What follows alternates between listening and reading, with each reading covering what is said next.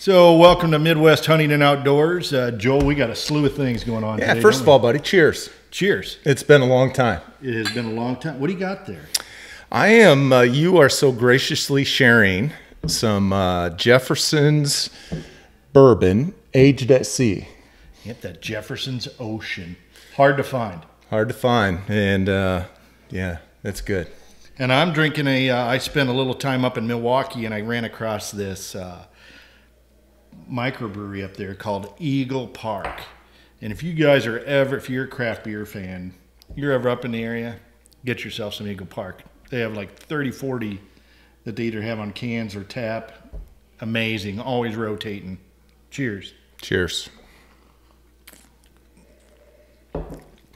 But uh, this is a quick introduction for us today because this is the tips and tricks, and uh, we've got the two, one of the two dumbasses' wives, actually doing a tips and tricks on fire starters. Yeah, Ruth. Ruth, I tell you what, I uh, when I was a kid, my mom used to make these fire starters, and I told my wife about it, and like she was Johnny on the spot, and uh, she's been doing them ever since for folks.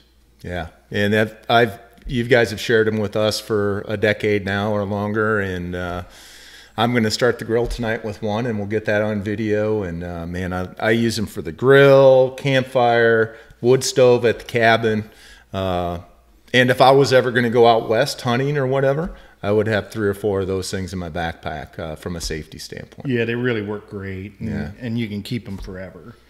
And for the most part, you're using you're recycling through materials. basically zero zero investment into them if you're recycling candles and egg cartons and lint is Yeah. basically the contents but uh, yeah with no further ado let's uh, let's get a look at that Uh, look forward to it. Welcome guys. We're going to do some tips and tricks today and today is on fire starters. And this is something that we've done for many, many years. It's a great way to use up some supplies that you have. It's homemade and it's great for starting fires. And so what we're ultimately going to do is actually create, looks a little funky, but a fire starter made out of an egg carton with lint from the dryer and old candles. So guys, step one is actually filling our egg cartons. And it's important that you're using uh, the paper cartons and not the styrofoam. And so I basically, this, all this lint I saved from our dryer, okay, I got a whole stack of it, and I'm basically going to just fill each of these holes as, you know, as much as I can get into it. This is nothing, no exact science, it's just how much lint can you get in there, because this is what really um, will absorb the wax, and then um, when we go to start it, um, it will hold the wax and you'll get a good flame to have a, a good fire starter. So that's step one. All right, step number two is that we're gonna actually melt the wax. If you have a double boiler, that's great. I don't have one that I would want to use with wax. So I use a pot of boiling, boiling water, a tin from, you know, a pie tin, and I basically I'm gonna set that on in there and let this melt. Okay, so we are using this pan to basically, as a double boiler, to melt our wax. And this wax, you can get it from a garage sale, you know, Aunt Susan, when she comes to visit, she brings her old candles. You can buy paraffin wax, like at Menards or any home improvement store, and you can melt that, and you can use that also. But we're basically going to melt our wax, and from here, it's as simple as, I already have plenty, kind of a good base melted, so I'm basically, I just like to kind of get off some of that steam off of it, and I'm gonna just simply pour it right on top of my lint. It's not gonna be perfect, doesn't have to be perfect, and I wanna be able to fill each of these holes with wax. As you can see. Now I used it all, and I'm gonna set this back on my thing and melt some more. It's not done yet. This needs to be heavily coated um, for it to be a good fire starter. All right, so we're continuing with our wax.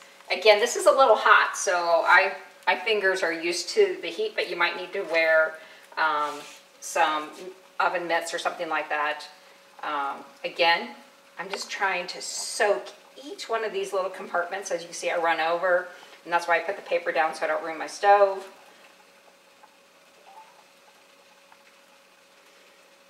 And I'm gonna go over this like probably two or three times just to make sure that everything is well coated. Yep. Okay, so we're gonna do this one more time. So this is my third uh, time across these, each of these. Again, we're trying to get as much wax in each of these little compartments.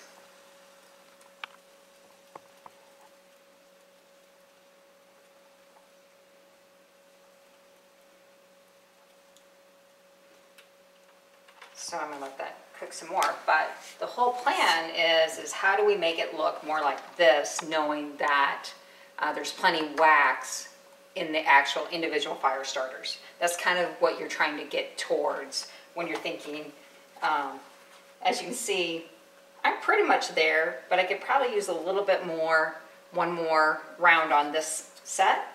So I'm gonna do it one more time, and I'm just gonna set it aside to dry, and they'll be ready to use. There is your fire starters. All right, so yeah, as you've seen, these fire starters are awesome, and I'm going to use one to. Uh, I use it to start my my uh, Kamado Joe here, green egg, and uh, they work fantastic. So give it a try, folks. I know you'll love it, and thanks to the other dumbass's uh, wife for turning us on to this and making some of these for us, and I hope you have just as good luck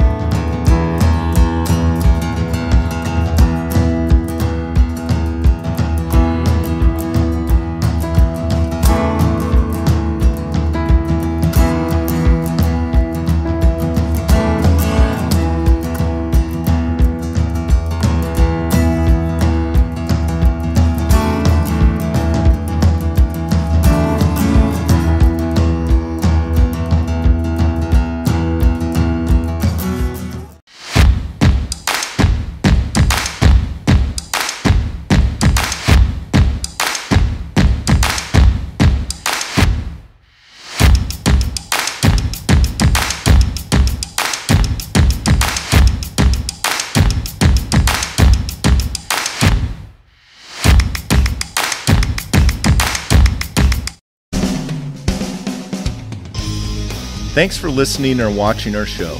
We have some exciting topics and guests coming up. We ask that you subscribe to our channel on YouTube and follow us on Twitter, Instagram, and Facebook.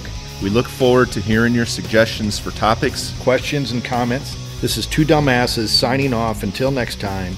Be safe, have, have fun, fun, and, and get, get outdoors. outdoors.